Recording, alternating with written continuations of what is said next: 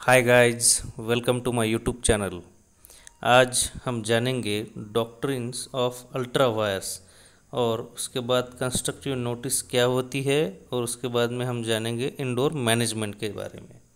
अब जब भी किसी कंपनी का जो भी मेमोरेंडम ऑफ़ एसोसिएशन में जो भी ऑब्जेक्टिव दिए जाते हैं तो उनके द सेड ऑब्जेक्टिव्स जब वो company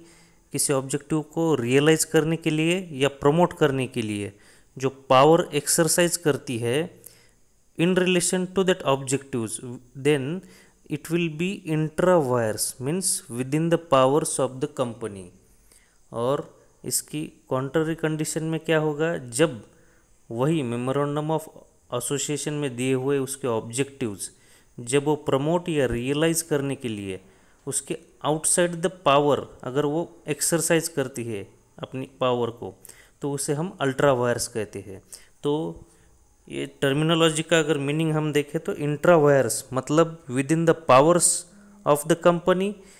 and ultra vires means beyond the powers of the company अब हम अल्ट्रा वायर्स ट्रांजेक्शन के इफ़ेक्ट के बारे में हम अभी जानेंगे।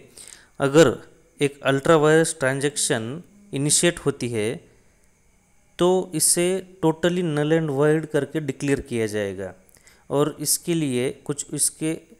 इस ट्रांजैक्शन की वजह से अगर कुछ ऑब्लिगेशन अगर कुछ कॉन्ट्रैक्ट में जनरेट होते हैं तो कंपनी को हम लायबल नहीं डिसाइड कर सकते हैं। और कुछ रीज़न दे के या कुछ रेटिफिकेशन करके इस ट्रांजैक्शन को इंट्रा वॉइस में कन्वर्ट नहीं किया जा सकता है। अब एग्ज़ाम्पल पर्पज़ के लिए हम यहाँ पे देखेंगे कि सपोज़ एक कंपनी है उसके मेमोरेंडम ऑफ़ एसोसिएशन या इसमें दिया नहीं है कि वो लेंड कर सकती है। बट फिर भी उन्होंने लेंडिंग करी है, यानी किसी को कर्जा दे दिया।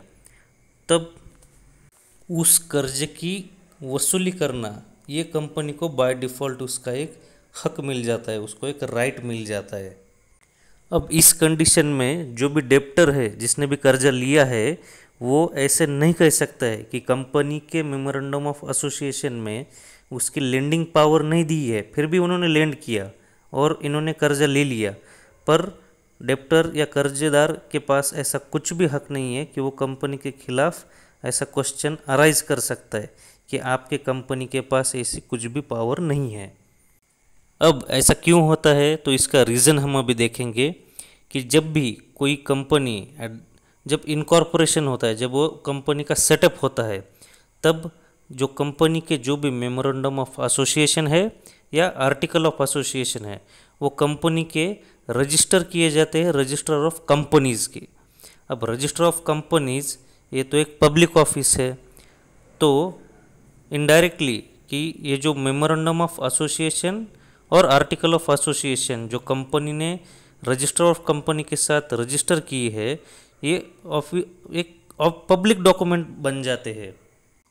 अब जब कोई व्यक्ति ऐसे रजिस्टर कंपनी के साथ जब डील करती है तो बाय डिफ़ॉल्ट ऐसा एक्सेप्ट किया जाता है कि उस पर्सन को जो भी ऑब्जेक्टिव्स उसमें दिए हैं memorandum of association and article of association में, वो उसको means he is having the complete knowledge of that particular objectives अब ये जो प्रिजम्पशन है कि उसको, उसके ऑब्जेक्टिव्स के बारे में सब कुछ नॉलेज है, उस कंपनी के बारे में तो ये जो प्रिज्यूम नोटिस जिसे हम कहते हैं, उसको ही कंस्ट्रक्टिव नोटिस कहा जाता है। और ये जो टोटल डॉक्ट्रिन है, ये टोटल डॉक्ट्रिन को डॉक्ट्रिन ऑफ़ कंस्ट्रक्टिव नोटिस कहा जाता है। इसका मतलब कि उस व्यक्ति ने एक, यहाँ पे एक प्रिज्यूमशन किया जाता है कि उस व्यक्ति को उसका पूरा नॉलेज या पब्लिक डॉक्यूमेंट्स जो भी है, उनके बारे में पूरी जानकारी उसको है। अब इस प्रिजम्पशन के दायरे में वो कंपनी की जो भी पावर है, इसके बारे में भी उसको पूरा नॉलेज है, ऐसा प्रिजम्पशन किया जाता है। और उसके साथ ही उसके जो भी ऑफिसर्स है, यानी एग्जीक्यूटिव पावर्स जिसे हम बोल सकते हैं, जो पावर को एग्जीक्यूट करने की क्षमता रखते हैं, उनके बारे में भी पूरी जानकारी है, ऐसा एक प्रिजम्पशन किया जाता है। और इसी चीज़ में जब कोई पर्सन एक कंपनी के बारे में ऐसा कुछ आर्गूमेंट अग, अगर वो रेज करता है कि उसे कुछ इनके बारे में या डॉक्यूमेंट के बारे में कंपनी के बारे में कुछ आइडिया नहीं है after dealing with that company then उसे एक निगेटिव कंसेप्ट कहा जाता है कंस्ट्रक्टिव नोटिस का जिसे वो रेज नहीं कर सकता है। अब यहाँ पे जो कंस्ट्रक्टिव नोटिस का जो प्रिंसिपल है वो कंपनी को प्रोटेक्ट करने की क्षमता रखता है। और यहाँ, और उसके बाद में जो इंडोर मैनेजमेंट की जो डॉक्ट्रिन है, वो हम जो पर्सन है, जो कंपनी के साथ जो पार्टी डील कर रही है, उसको प्रोटेक्ट करने के बारे में यहाँ पे डिक्टेट करती है। अभी सपोज़ कि कंपनी की इंटरनल फंक्शनिंग में कुछ डिस्टरबेंस आ रही है, या जो भी उसकी इंटरनल मैनेजमेंट है, उसमें अगर कुछ किसी ने इरेगुलर बिज़नेस वहाँ पे किया है, पर अगर वो जो पार्टी या पर्सन है, जो भी कंपनी के साथ डील कर रहे, उनका जो बिज़नेस है, वो अगर कॉन्ट्रैक्ट के हिसाब से होगा means inconsistent with that regulation अगर होगा